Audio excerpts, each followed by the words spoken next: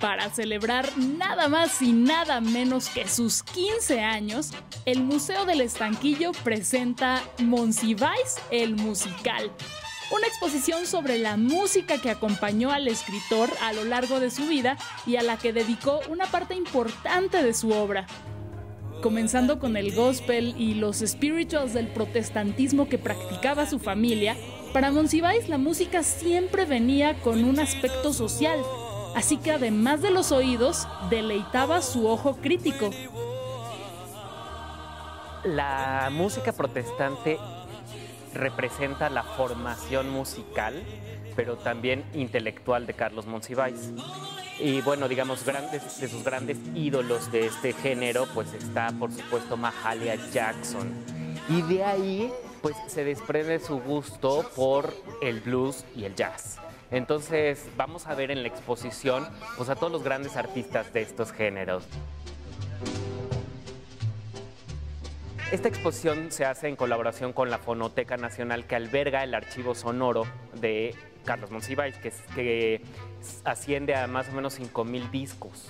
Lo que hizo eh, Pavel Granados eh, como curador y Ana Catalina Valenzuela en la investigación es elaborar estos núcleos temáticos que empiezan con los orígenes, este, digamos, de su eh, gusto por la música, que es el protestantismo, jazz, blues, y terminar, digamos, con lo más contemporáneo.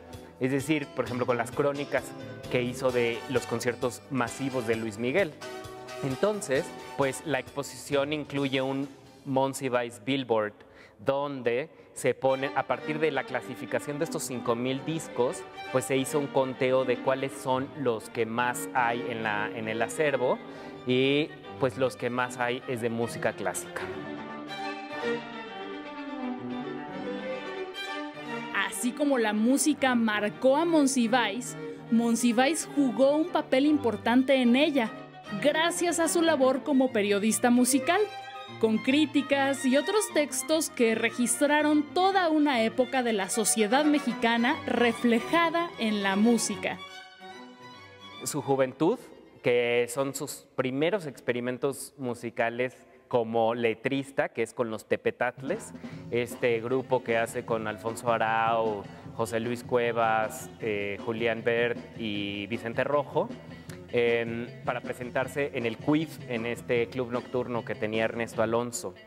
Entonces, eh, y que son pues obviamente letras muy divertidas, los Tepetatles pues es una referencia a los Beatles, es una aztequización de los Beatles, y son letras que pues reflejan todo el acontecer social, político, cultural y juvenil del México de esos años.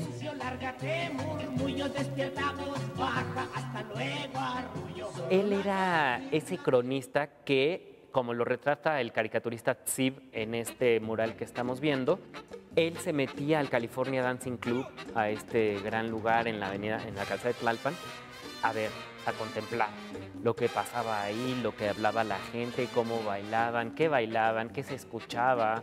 Y entonces se trata de un cronista no solamente desde el escritorio, sino que se metía a los lugares para poder narrar. Visita Monsiváis, el musical, hasta el 31 de julio en el Museo del Estanquillo.